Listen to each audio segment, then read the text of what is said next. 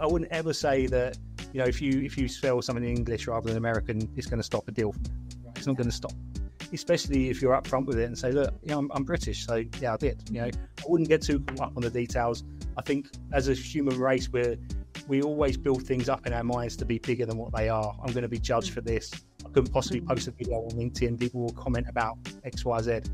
It doesn't happen. So I would just, Yeah. just get over it. You made the odd mistake, but it really won't matter.